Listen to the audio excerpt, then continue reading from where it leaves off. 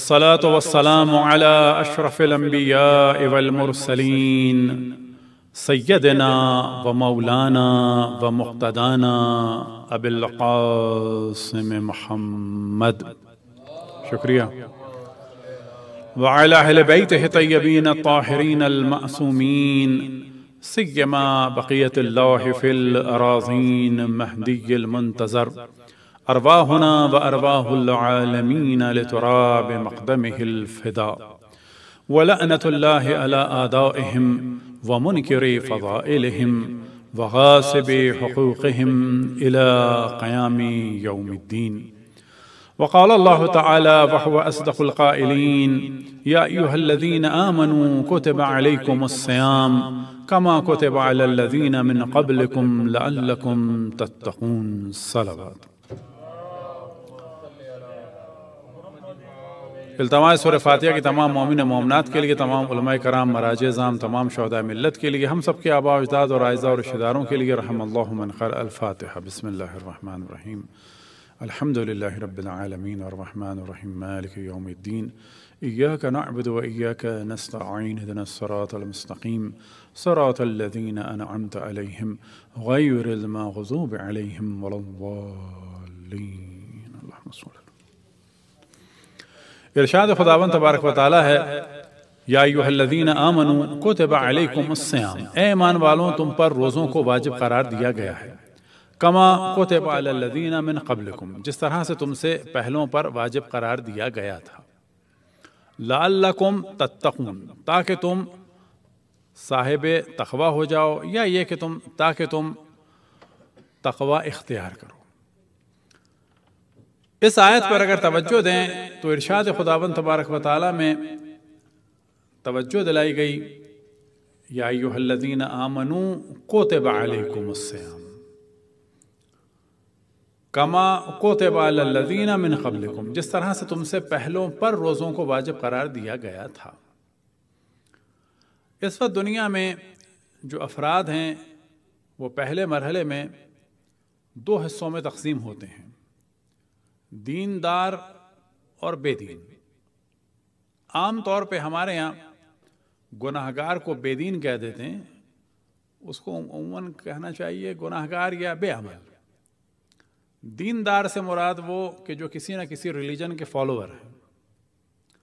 बेदीन वो कि जो किसी दीन को नहीं मानते। जैसे कोई दावा करे अगर जैसे कि हम इथियस्ट हैं। अलबत्ता दीनदारों की तादाद ज़्यादा है। दीनदारों से मुराद मुसलमान नहीं, दीनदार, कोई भी वो लोग के जिनका कोई दीन हो। यह भी जहन में रखें कि दीन अलग चीज़ है। हमारे आम तौर पे लोग कह देते हैं हद तक बास पढ़े लिखे लोग भी कह देते हैं, मज़हब इस्लाम, ये गलत है। या ईसाई मज़हब, या हिंदू मज़हब, ना। यहाँ पे कहा जाएगा, दीन इस्लाम, दीन मसीहियत, या हिंदू मत, या दीन हिंदू, या दीन हिंदू मत। तो ये जितने भी हैं, इस्लाम हो, यहूदियत हो, मसीहियत हो, बुद्धिस्ट हो कन्फ्यूशिस्ट हो, जैन हो, हिंदू हो, ये सब दीन है। फिर जो इनमें तकसीम बंदी होती है, वो कहलाते हैं मज़हब। या फ़र्क है। लिहाजा शिया और सुन्नी जो हैं वो मज़हब हैं। रोमन कैथोलिक और प्रोटेस्टेंट और मॉर्मेन और एवेंजेलिकल वो मज़हब हैं। या मिसाल के तौर पर यहूदियों में सामोर सामो सामोरी या मिसाल के तौर पर आ, जो ऑर्थोडॉक्स हैं वो उनके फ़िरक़े हैं। अब रोज़ों के बारे में अगर दिक्कत की जाए तो सबका अदियान में रोज़ों का एक तस्वुर है। शुक्र के अनुमान से और इसी तरीके से हाजत के अनुमान से। अब ये और बात है कि उनका पीरियड क्या है। अब ये और बात है कि उनकी शराइत क्या है। वो अलग अलग है। लेकिन एक रोज़े का कॉन्सेप्ट है। इस वक्त आलम इस्लाम में फ़िकी एतबार से जो सबसे करीब रिलीजन है, एक दफ़ा हम पाकिस्तान में एक जगह सेमिनार में गुफ्तु कर रहे थे, जहाँ अच्छे खासे प्रोफेसर भी बैठे थे और इनमें से एक प्रोफेसर के जो, जिनके बारे में हमें ज़्यादा वो था कि ये पढ़े लिखे हैं और वाखन थे भी। तो उन्होंने ही बाद में हम पर एतराज़ किया कि ये आपने ऐसा क्यों कहा?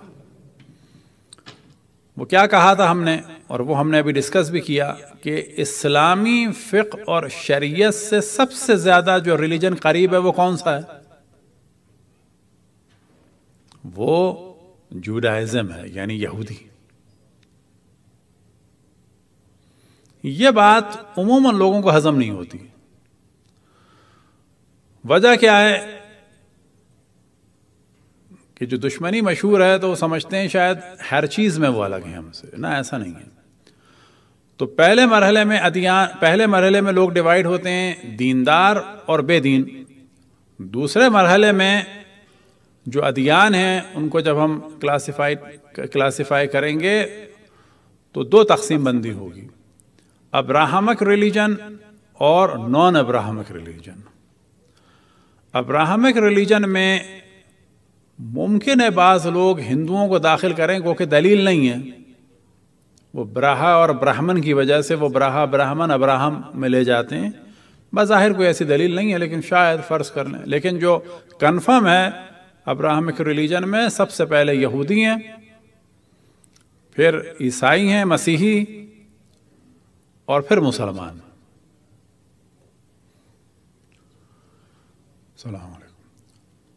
लिहाजा इन तीनों में मुमासलत बहुत ज़्यादा है। बस अंबिया को मानने के एतबार से सबसे ज़्यादा हमसे करीब हैं कौन? मसीही, क्योंकि हम और वो भी हज़रत ईसा को मानते हैं। शरीयत के एतबार से सबसे ज़्यादा करीबी हमसे कौन है? यहूदी।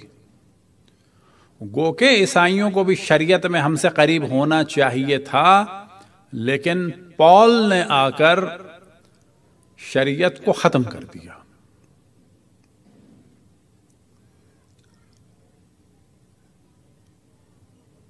हज़रत ईसा सलाम के जो असल वारिस थे और जानशीन थे और खलीफा थे और सक्सेसर थे, वो थे जनाब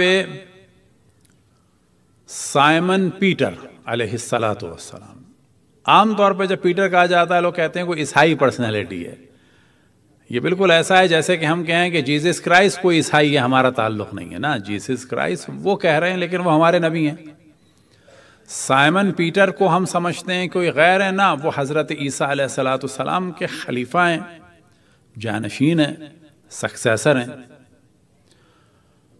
इसी तरीके से हज़रत मूसा सलाम के जानशीन और खलीफा और सक्सेसर ज़िंदगी में हज़रत हारून थे, लेकिन उनका इंतकाल हो गया था। लेकिन उनके बाद जो थे, वो जनाब यशुआ थे, यूशा यूशा बिन नून, कि जिनको अब कहा जाता है जशुआ, द सन ऑफ़ नून। अब जब आप जशुआ नाम सुनेंगे तो कहेंगे, इनसे तो हमारा ताल्लुक नहीं है ना। यूशा और जशुआ एक हैं, बिल्कुल वैसे ही जैसे इब्राहिम और अब्राहम एक हैं। इसहाक और आयजिक एक हैं। याकूब और जैकब एक हैं। यूसुफ और जोजफ एक हैं। मोजेज और मूसा एक हैं। तो ये जहन में रहे कि पर्सनैलिटीज के एतबार से सबसे ज़्यादा हमसे करीब हैं कौन? ईसाई। फिक के एतबार से हम सबसे ज़्यादा हमसे करीब हैं कौन? यहूदी। ईसाइयों में जो फिक ख़त्म हुई, शरीयत ख़त्म हुई, वो पॉल की वजह से ख़त्म हुई। ये पॉल जो था, उनके खलीफा और जानशीन के मुकाबले में आया। जिस तरह से हमारे यहाँ आलम इस्लाम में बहुत सारे पॉल हैं, बिल्कुल इसी तरह से वो वहाँ पर पॉल है। और आपको ताज्जुब होगा, रिवायात में हमारे वाले पॉल्स के लिए और उस पॉल के लिए जहन्नम का एक ही तबका बयान हुआ है। और इसी तरह से सामरी के लिए कि जो हज़रत मूसा के वसी के खिलाफ आया। तो ये चीज़ें इस वजह से हम बता रहे हैं कि बाज़ दफ़ा लोग समझते हैं कि जी बहुत ज़्यादा अदियान में फ़र्क है फ़र्क है। कहाँ कहाँ फ़र्क है, ये भी पता होना चाहिए। कहाँ कहाँ मिले हुए ये भी पता होना चाहिए ये ज़मीन गुफ्तु थी। लेकिन इस आयत में जो लफ्ज़ आया है यादीन आमनु कोतबा अलकुमस्याम कमा कोतबा लदीन मिन कबलकुम। अब आपको ताज्जुब होगा ये जो लफ्ज़ सयाम है, बज़ाहिर अरबी का है। लेकिन असल में ये अरबी में भी हिब्रू से आया है, इबरानी से। लिहाजा आज भी यहूदी इस रोज़े के लिए जो वर्ड यूज़ करते हैं, वो सोम है। बहुत सारे हमारे वर्ड उनसे मिलते हैं। मिसाल के तौर पर, गौसल मैयत के लिए वो लफ्ज इस्तेमाल करते हैं, तहारा। सदक़े के लिए वो लफ्ज इस्तेमाल करते हैं सदका। और रोज़े के लिए वो वर्ड यूज़ करते हैं सोम। क्यों? कि ये वहाँ से अरबी में आया है। अब बाज दफ़ा मुमकिन इन बातों के बाद कोई कहे कि इसका मतलब है यहूदियत असल है तो जवाब है कि ना। असल शरीयत हज़रत इब्राहिम सलाम है, जो उन्होंने कुछ हद तक बदल दी। बाद में हज़रत ईसा सलाम आए कि जो बाद में पॉल ने खराब कर दी। बाद में रसूल अल्लाह सल्लल्लाहु अलैहि वसल्लम ने उसी हज़रत इब्राहिम सलाम की शरीयत को दोबारा ज़िंदा किया। इस बात की जाने हमने क्यों तवज्जो दिलाई कि कल आपके जहन में आया कि इसका मतलब असल यहूदियत है। ना, इस पर जो यहूदियत है, ये बिगड़ी हुई सूरत है, शरीयत हज़रत इब्राहिम सलाम की। और ये जो इस्लाम है दर हकीकत, यही वो सही सूरत है दीन हनीफ की। सलवात पढ़े बर मोहम्मद व आल मोहम्मद। तो यहूदियों में भी रोज़े हैं, उनमें से एक मशहूर तरीन जो रोज़ा है वो यम कपूर का है। यम कपूर यानी योम अल कपूर, कैपूर, के जो 24 घंटे का वो रखते हैं। और वो एक गरूब से लेकर दूसरे गरूब तक होता है, लेकिन इसके अलावा भी रोज़े हैं। ईसाइयों में भी रोज़े हैं। ईसाइयों में जो रोज़ों की सूरत है, वो रोज़ा रखते हैं और किसी एक चीज़ को छोड़ देते हैं। कुछ लोग रोज़ा रखते हैं, मुकम्मल रोज़ा जैसे हमारा है, और कुछ घंटे का, बारह घंटे का अलग अलग है ना क्या और कुछ रोज़ा रखते हैं, मिसाल के तौर पे ये कि हम शराब नहीं पियेंगे या चाय नहीं पियेंगे, या ये कि हम थोड़ा सा खाएँगे, इस कस्म के इनके अलग अलग हैं। लेकिन इसी तरह से हिंदुओं में है भरत। कि जो गांधी जी का मशहूर है, महान भरत। अब गो कि ये सियासी मौजू है, लेकिन बयान करना चाहिए, जो जिसका हक है, हमारे आमतौर पे गांधी जी को बुरा समझते हैं। कभी आपने तस्वुर किया, ये महान भरत और ये जो घूम रहे थे असा लेके किसके लिए घूम रहे थे वो?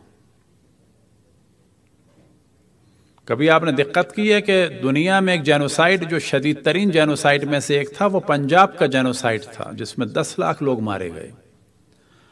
ये किस पे डाल दिया जाता है? हिंदुओं और सिखों पे? ना, ये शुरू किया था अहल सुन्नत ने खसूस उनके मुल्लाओं ने। ये शुरू हुआ था खसूस मर्दान से और एबटाबाद से, कि जब सिख औरतों की इज्जतें लूटी गई थी, उनके सीने काटे गए थे। और ये सब कुछ हुआ था मार्च 46 से शुरू हुआ था। और फिर उसके बाद पिंडी और लाहौर में मार्च से सिलसिला शुरू हो गया था। फिर जो ये लोग पंजाब गए थे, मशरक़ी पंजाब तो याद रखें कि फिर मशरक़ी पंजाब में सिखों ने और हिंदुओं ने ज़्यादा मुसलमानों को मारा। लेकिन वो रिएक्शन के तौर पे था। वो भी गलत था। ये भी गलत था, वो भी गलत था, फिर उन्होंने ज़्यादा मारा। लेकिन वो जो कत्लेआम शुरू हुआ है, वो अगस्त 16 से हुआ है। 47 से। उसमें ज़्यादा मुसलमान क्यों मरे? क्योंकि अगस्त से वहाँ बारिशें शुरू हो गई थी, महाजरत मुश्किल हो गई थी, बैलगाड़ियाँ फंस रही थी। सफ़र मुश्किल हो चुका था। फिर वो लोग इस इंतकाम का, उनसे इस जुर्म का उनसे इंतकाम ले रहे थे। तो असल में जो बदमाशी थी, ये हमारे अहल सुन्नत, उलमा और मुस्लिम लीग में बाज़ जो मुल्ला दाखिल हो गए थे उनकी खसूस एक मुल्ला मानसेरवी था पिंडी का, और इसी वजह से जो सिख शामिल हो रहे थे पाकिस्तान में, वो इन लोगों की बदमाशी की वजह से शामिल नहीं हुए। जो आज कहा जाता है पाकिस्तान बनने के लिए कुर्बानियाँ दी गई हैं कतन कोई कुर्बानी पाकिस्तान के लिए नहीं दी गई, इन अहले सुन्नत उलमा की शिद्दत के रिवेंज के तौर पे दी गई है। फ़र्क है दोनों चीज़ों में। वह पाकिस्तान डॉक्यूमेंटेशन और कॉन्फ्रेंस के ज़रिए से बना था, खून की इसको ज़रूरत नहीं थी। ये जो हमने ज़िक्र किया, क्यों किया? कि जब हम आलम इस्लाम की तारीख को नहीं जानते, बहुत सारे अहल सुन्नत तो आप हम भी बिल्कुल ऐसे ही हैं जो हमको बता दिया जाता है। ये जो इतनी लड़कियाँ गायब हुई पंजाब में, मुसलमानों की भी, सिखों की भी एक तवील मौसू है। ये बिहार में क्यों नहीं गायब हुई? यूपी में क्यों नहीं गायब हुई? ये नहीं गायब हुई गांधी की वजह से। क्योंकि वो कह रहा था, अहिंसा की तहरीक, अहिंसा की तहरीक क्या? किसी को नहीं मारो। बिहार में नेहरू ने कहा था कि मैं बम्बार्टमेंट कर दूँगा अगर मुसलमानों पे हमला हुआ। हम वो देखते हैं जो हमारे मौलवी मुल्ला मुतशद अहल सुन्नत मेंटलिटी मेंटलिटी वाले हमें दिखाते हैं। असल में उनके मज़हब में खून खराबा नॉर्मल चीज़ है। ये चीज़ जहन में रखें और हक़ को जानें कि दुनिया में क्या हुआ। ये हमने ज़मनन बयान कर दिया। तो अदियान को जानना चाहिए, मज़ाहिब को जानना चाहिए और बहुत सारी चीज़ों को जानना चाहिए, आँखें खोल के जानना चाहिए। आँखें बंद करके नहीं। मुमकिन है आप में से बास को ताज्जुब हुआ हो कि वाकई एक आदमी को बुरा समझ रहे थे, उसकी वजह से तो हमारी दादा परदादा की बहनों की इज्जतें बची हैं। ये जो यूपी में लड़कियाँ गायब नहीं हुई, किसकी वजह से गायब नहीं हुई? आपका कमाल था। आपके दादा परदादा का कमाल था। तो ये सारी चीज़ें जाननी चाहिए। गो कि ये मौजू सियासी है इन बाद में कभी डिस्कस करेंगे। तारीखी मौजू है, क्योंकि आम तौर पे इसके ज़रिए से हमारे जज्बात को उभारा जाता है। लेकिन अगर चीज़ आपको पता होगी तो आप कहेंगे, ना बाबा, ना, पाकिस्तान बनने के लिए कोई नहीं मरा। ये आपकी बदमाशी की वजह से उन्होंने रिवेंज लिया। वो अल्लाह पाकिस्तान बनता डिवाइड हो जाता, कुछ इधर जाते, कुछ इधर जाते। तो अदियान के बारे में आमतौर पर बहुत ज़्यादा जो है हम लोग नहीं जानते। जब तक उनमें दाखिल ना हो, जब तक जाने नहीं तो पता नहीं चलता कि किस दीन में क्या है, किस मज़हब में क्या है। बाखन वो कितने दूर हैं, कितने करीब हैं। बास को हम दूर समझते हैं, वो करीब होते हैं। बास को हम करीब समझते हैं, वो दूर होते हैं। सलवात पढ़े पर मोहम्मद वाले मोहम्मद। ये हमने जब हिंदुओं में रोज़े का ज़िक्र आया तो कर दिया, फिर हमने कहा किसी का हक नहीं ज़ाया होना चाहिए। एक आदमी का एहसान है, हमारे बाप दादा की औरतों की इज़्ज़त बचाने में उसको मानना चाहिए। वह हमारा मौजू ये नहीं था। हमारा ज़िक्र था कि हिंदुओं में बरत है। और बरत में से एक महान बरत गांधी जी ने रखा तो जमन हमने गुफ्तु कर दी। सिर्फ़ क्यों? कि हकदार का हक अदा होना चाहिए। जिसने हम पर एहसान किया हो, उसके एहसान को मानना चाहिए। हम जिस कल्चर से तारुख रखते हैं आलम इस्लाम में, ना कि शिया, उमूमन, उनका इन्फ्लुएंस तो है हम पर। मुजरमों को रसी अल्लाह बनाना आम सी बात है। और अहल बैत को तरफ़, अहल बैत के तरफदारों को राफजी और दुश्मन बनाना आम सी बात है। तो ये उनका कल्चर है। उनकी आँखों से अगर आप दुनिया को देखेंगे तो जिस तरह से उन्होंने हज़रत मालिक अश्तर जैसों को दुश्मन बना दिया और माविया जैसों को रज़ी अल्लाह बना दिया, अबू सुफियान और माविया जैसों को और हिंदा जैसों को रज़ी अल्लाह बना दिया हज़रत अबू तालिब को काफिर बना दिया, उनकी आँख से देखेंगे तो वो ये धांधलियाँ करते हैं लोग। सलवात पढ़े पर मोहम्मद वाले मोहम्मद।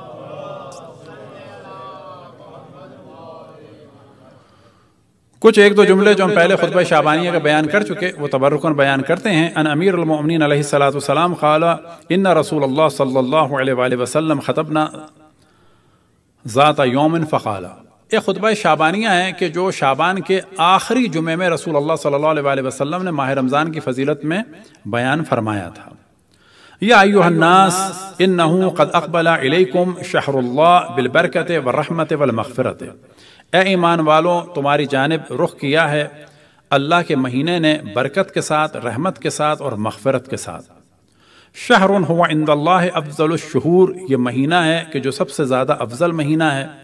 अयाम हूँ अफजल अयाम इसके दिन तमाम दिनों में सबसे ज़्यादा अफजल हैं। व लयाली हो अफजल लयाली, इसकी रातें तमाम रातों में अफजल हैं। व सात हो अफजल सात और इसके अवक़ात और इसके लम्हात जो हैं, तमाम लम्हात और अवक़ात में अफजल हैं। वह हुआ शहर तुम फ़ी है अला ज़ियाफ़त और ये वो महीना है कि जिसमें तुम्हें अल्लाह सुबहाना हुआ ताला ने अपनी ज़ियाफ़त में दावत दी है।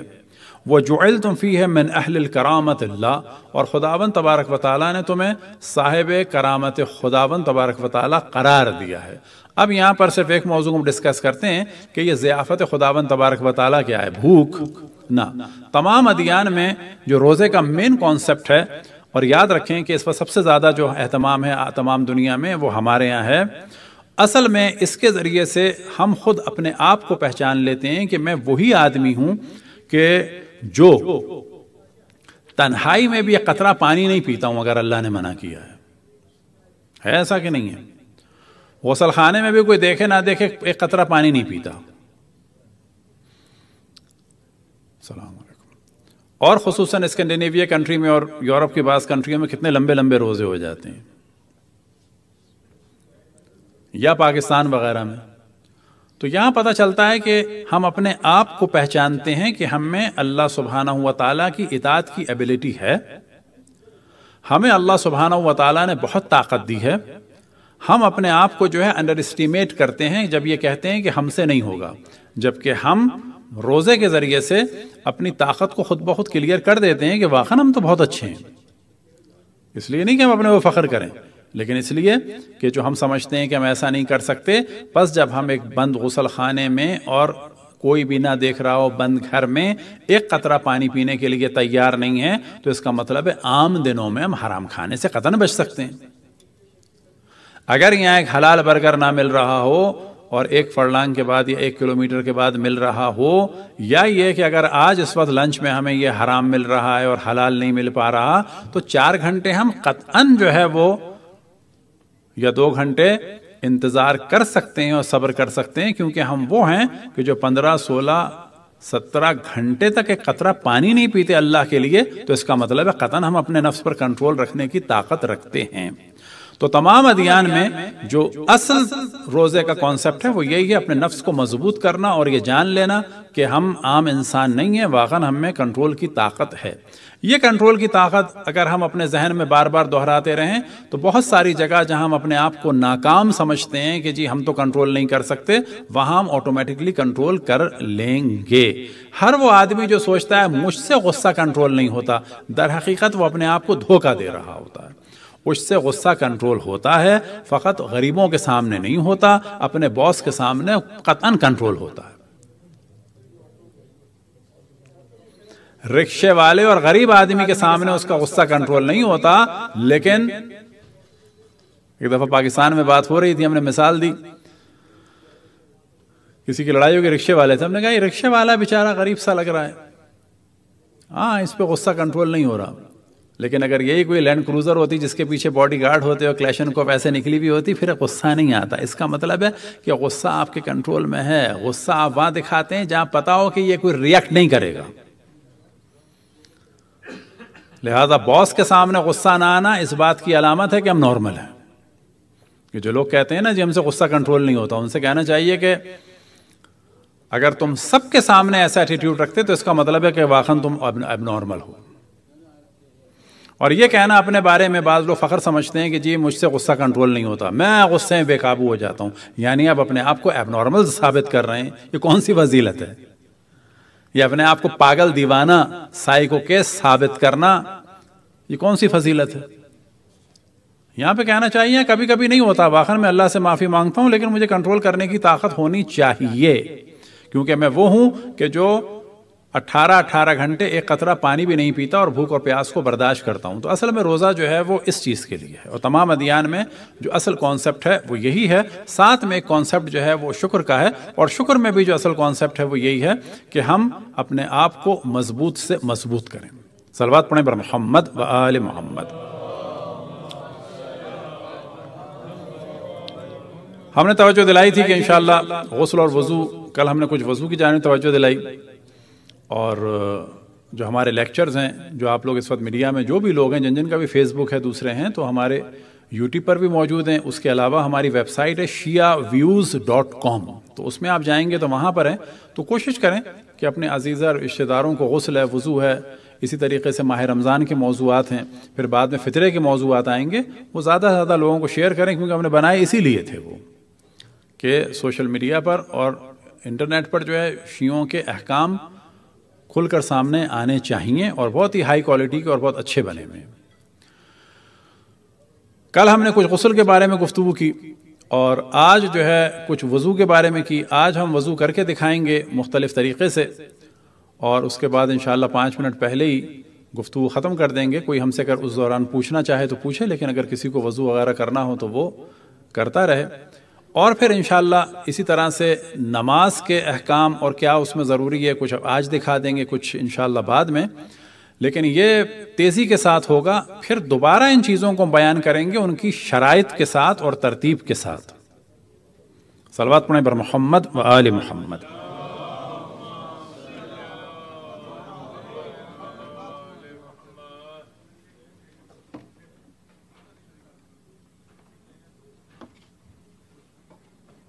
पहली चीज़ ये करीब कर लें? या फिर वो है।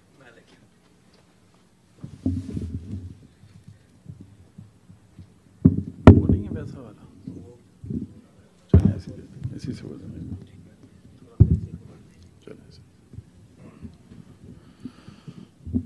देखिए, पहली चीज़ ये जहन में रहे कि जिस तरह से कल हमने शावर से बताया गसल करना तो ये भी जानना चाहिए कि अगर कभी फ़र्ज़ करें कि थोड़ा सा पानी हो तो उससे भी गसल हो सकता है। शर्त यह है कि जिसम को पाक कर लिया जाए और जिस तरह से हम वज़ू करते हैं चुल्लू से, इस तरह से गसल भी हो सकता है। ये बताने की वजह क्या है? गो कि यहाँ तो पानी का प्रॉब्लम नहीं होता, लेकिन मुमकिन है कभी किसी का हीटिंग का प्रॉब्लम हो। तो जब आदत पड़ जाती है शावर से हमेशा नहाने की बिलाखिर एक ज़माना था कि लोग गर्म करते थे देखचों में तो क्या इलेक्ट्रिक केटल से हो सकता है? बिल्कुल हो सकता है।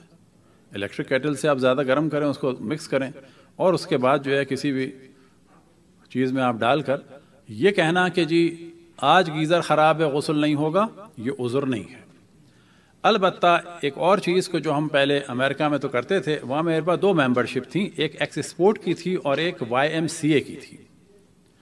और सफ़र में तो बाज़ दफ़ा मैं ड्राइव करते करते भी जो है चला जाता था, आराम से जो है वो हॉट टप में बैठता था, लेकिन वहाँ के वाई एम सी ए में खसूसियत थी जो शायद यहाँ बाज़ जगह नहीं है, कि वहाँ पर लॉकर रूम में हॉट टब और स्टीम रूम और सोना जो है मर्दों के अलग होते थे।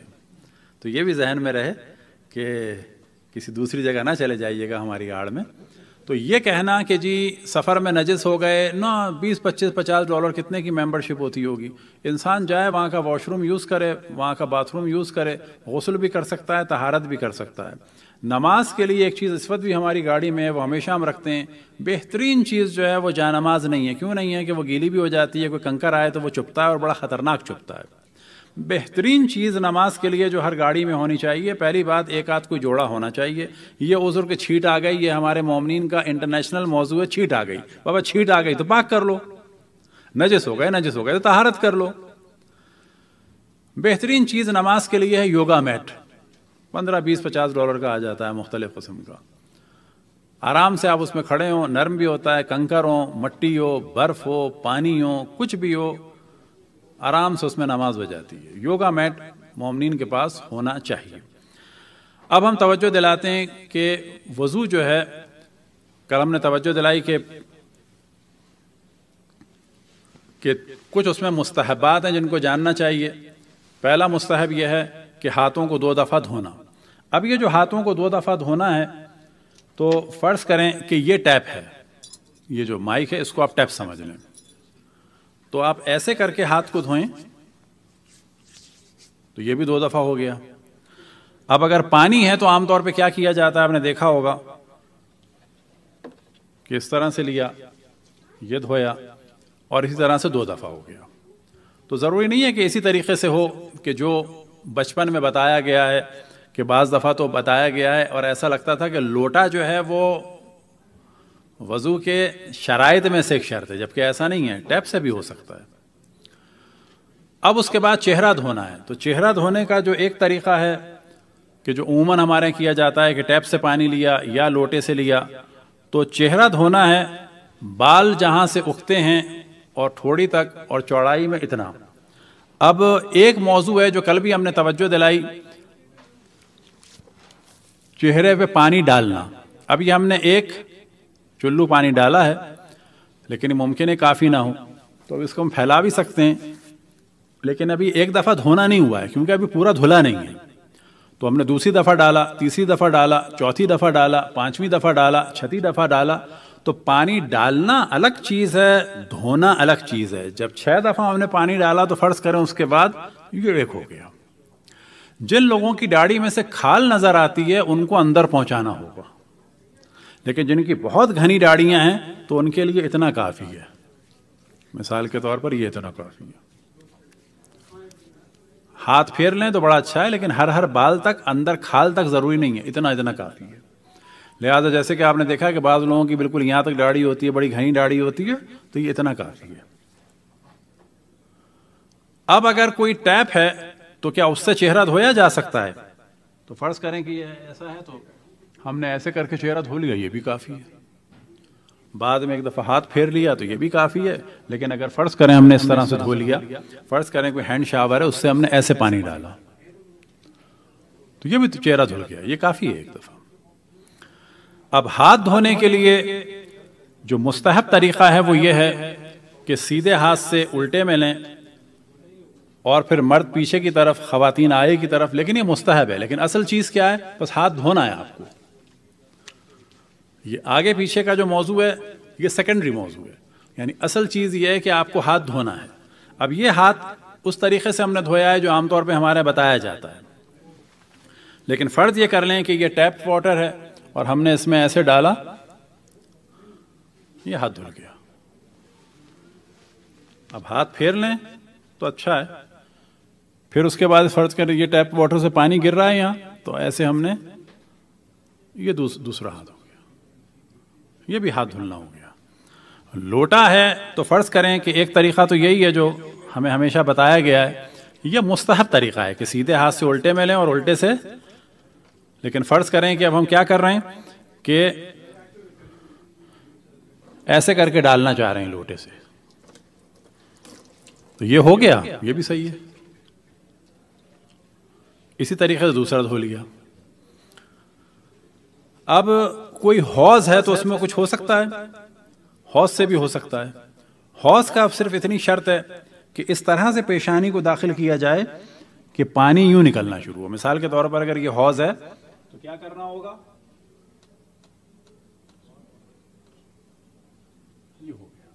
यानी पानी यहाँ से यहाँ तक आए। हौज से भी हो सकता है।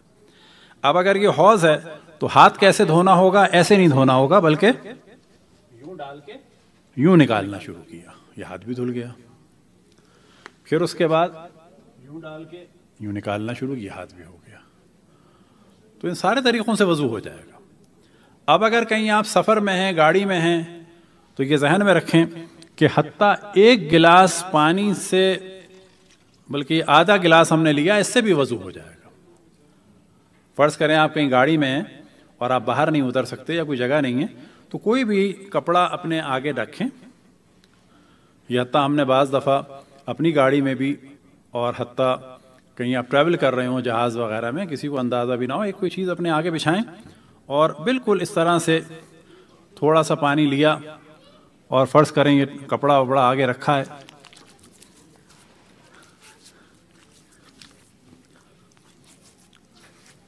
तो पूरा चेहरा एक ही चुल्लू से हो जाएगा। बिल्कुल इसी तरीके से।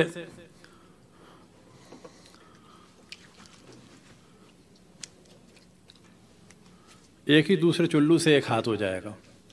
ये वाला उजुर के जी गाड़ी में तो पानी पानी हो जाएगा, क्यों पानी पानी हो जाएगा? क्यों पूरा लोटा बहाना है क्या? लेकिन ये कब पता चलेगा कि ये जो दो हाथ धोना है, ये वाजिब नहीं है?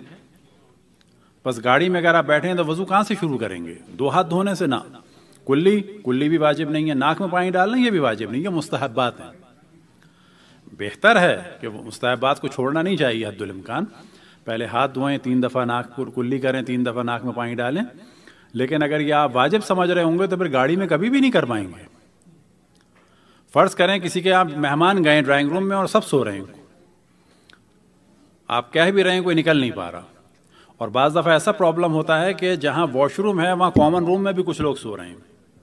नमाज़ ख़ज़ा हो रही है क्या करें? उनके पूरे कालीन को आप पानी पानी कर दें। ये भी गलत। नमाज़ ख़ज़ा कर दें ये भी गलत। इतना सा एक गिलास में पानी पड़ा है अपनी आपने कोई टावल वगैरह बिछाई और उसमें वज़ू कर लिया। लेकिन कब करेंगे? जब पता होगा कि वाजिब क्या है और मुस्तहब क्या है और कहाँ मुस्तहब का अंजाम देना अच्छा है और कहाँ मुस्तहब को छोड़ना चाहिए। ना ये कि अंजाम देना चाहिए, बल्कि छोड़ना चाहिए।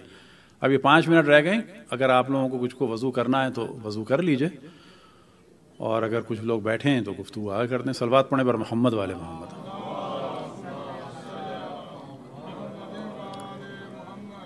तो फ़िलहाल हमने ये बड़ी तेज़ी से चीज़ें बताई हैं। बाद में और इसको तफसील से बताएँगे कि जो जिस तरतीब से तोज़ुल मसाइल वगैरह में हैं, जो उनकी शराइ हैं, क्योंकि बहुत सारी चीज़ों का एक से दूसरे के ऊपर दारोमदार है, जो हमने खुतब शाबानिया, सॉरी इस्तबाल माह रमज़ान में हमने बयान किया था। तो वहाँ पर असल में यही बयान किया था कि वज़ू की शराइ सिर्फ़ यही नहीं है कि पानी पाक हो, उनमें से एक शर्त क्या है कि जिस जगह पानी गिरे, जिस बर्तन में पानी हो, जो पानी हो, वो मुबा हो। लिहाजा किसी का हक़ ना मारा गया हो उसका। और हमने बहुत ज़्यादा इन्फेसाइज़ किया था कि जो हमारे यहाँ बहनों का हक़ मार लिया जाता है, उनकी जायदाद को मार लिया जाता है ये जो हमारे जहनों में डाला गया है कि घर बेटे का होता है, ये बिल्कुल गलत है। ये जो हमारे जहन में डाला गया है, घर की हर चीज़ बेटे की होती है बिल्कुल गलत है। बस बाप के मरने के बाद अगर घर पे हमने कब्ज़ा कर लिया है तो उस घर पे हमारी नमाज़ और गसल वज़ू सब बातिल है। बाप का ये जग था, इस जग से भी गसल और वज़ू सब कुछ बातिल है। तो यहाँ से पता चला कि वज़ू सिर्फ़ धोने धुलाने का नाम नहीं है, बल्कि इसमें अदल और इंसाफ के लिए भी अल्लाह सुबहान व ताली ने हुक्म दिया है कि आप किसी का हक नहीं मार सकते। ये बर्तन अगर बाप का था तो उसकी ज़िंदगी तक हम इस्तेमाल कर सकते थे। अब ये बर्तन किसका है? बाप का नहीं रहा। अब ये बर्तन माँ का है, बहनों का है। इनमें से किसी का भी हक मारा तो ये गजबी बर्तन होगा। और गजबी बर्तन से गसल और वज़ू नहीं हो सकता। अब इन कल हम दोबारा कुछ लोगों के लिए इसको बयान कर देंगे। बाद में कोई हमसे पूछना चाहे। सर के मसे के बारे में यही जो तरी है, इससे मैं दोबारा भी इंशाल्लाह कल करके दिखा दूँगा, किसी को कन्फ्यूज़न ना हो, क्योंकि हम बीच में बात भी कर रहे थे। तो सर का मसा जो है वो एक, दो, तीन, चार, ये चार हिस्से, इनमें जो ऊपर वाला हिस्सा है, इस पर होगा। एक उंगली से भी हो सकता है, ऐसे भी हो सकता है, ऐसे भी हो सकता है, और बेहतर है कि ऐसे हो जाए। लेकिन यहाँ तक नहीं आना चाहिए। बस यहीं पे रोक देना चाहिए। लेकिन अगर आ गया तो क्या करना है, ये बाद में आप याद दिला दीजिएगा। हो गया टाइम अच्छा। अब उसके बाद जो है, थोड़ा सा, पाँव के मसे के बारे में तवज्जो दिला देते हैं कि इसके बारे में बहुत ज़्यादा कन्फ्यूज़न होती है। एक तो मसला ये है कि एक दफ़ा हमसे किसी ने कहा पाकिस्तान में कि, मौलाना, आप ये बताइए कि लोग वज़ू वहाँ करते हैं, मसा यहाँ करते हैं, ये बातिल है? तो मैंने कहा, क्या कहूँ बुजुर्गवार से बड़े प्यार से कहा, मैंने कहा, नहीं, किबला, कोई हर्ज नहीं है। तो बाज़ दफ़ा तो बेहतर है, क्योंकि अगर वहाँ पर जगह ऑक्यूपाई हो रही है तो बेहतर है निकल आए। कि अपने हाथ ऐसे करते हुए आ गए, अब ये सर का मसा हो गया। अब पाँव के मसे के बारे में आम तौर पे कन्फ्यूज़न है, जो हमने कल थोड़ा सा बयान किया कि पाँव हरकत ना करे, सर हरकत ना करे तो उसके माना ये होते हैं कि सर पे हाथ चलना चाहिए। सर हरकत ना करे से मुराद ये है कि हाथ ऐसे रखा और बजाय हाथ चलाने के सर जला दिया। तो होना क्या चाहिए? सर पे हाथ से हरकत हो। बिल्कुल इसी तरीके से जब कहते हैं पाँव हरकत ना करे तो लोग समझते हैं बिल्कुल मुजस्मा बन जाए ना। अब ये जो पाँव का मस, मस, मस, मस्सा है फ़र्ज़ करें कि ऐसे उठाया और यूँ कर लिया पाँव बेशक उल्टा है ऐसे उठाया और यूँ कर लिया। गलत क्या है कि ऐसे कर लिया अब ये ऐसे भी हो सकता है रख कर भी हो सकता है ऐसे भी हो सकता है। ऐसे भी हो सकता है। एक उंगली से भी हो सकता है, दो से भी, तीन से भी और सबसे भी। कोई आदमी आया है, फ़र्ज़ करें जिस तरह से बैठते हैं। कुर्सी पे आके बैठा है, बैठने के बाद उसने ऐसे कर लिया है तो ये भी हो जाएगा। असल चीज़ ये है कि हाथ की तरी से, इस शुरू की किसी भी एक जगह से ये जो इब्तदा है यहाँ जोड़ों तक, ऊपर तक लाना बेहतर है, वरना उभार तक भी है, लेकिन एहतियात यही है कि यहाँ तक ले आए, किसी भी एक जगह से। इधर से ले आए, ये भी हो जाएगा। इधर से ले आए तो ये भी हो जाएगा। दो से भी हो जाएगा, ये भी हो जाएगा। चाहे ऐसा हो, चाहे हवा में हो। जो असल मौजू है वो क्या है? कि पाँव नहीं चलना चाहिए, उस पर हाथ चलना चाहिए। इसको कहा जाता है तोजुल मसाइल में कि पाँव हरकत ना करे। यानी हाथ हरकत करे, सर हरकत ना करे। ना ही है कि बिल्कुल सर के मसे से पहले बाद लोग बिल्कुल यूँ हो जाते हैं कि सर ऐसे हरकत ना करे। ना, वैसे हम बात कर रहे हैं और क्या हाल है, खैरियत से हैं, उसके बाद यूँ कर लिया। पाँव में भी थोड़ी सी हरकत हो, ना ये कि बिल्कुल मुजस्मा हो जाए। इन इससे, इस वक्त हमारा हदफ ये था, कुछ चीज़ें बयान हो जाएँ। कल बड़ी तेज़ी से जो है वो नमाज़ की बात चीज़ें बयान करेंगे, फिर ये दोबारा चीज़ें तफसील के साथ बयान होंगे, क्योंकि इस वक्त हदफ ये है कि जितना भी आ जाए शुरू शुरू में, चंद मिनटों में वो बेहतर है। सलवात पढ़े बर मोहम्मद व आल मोहम्मद।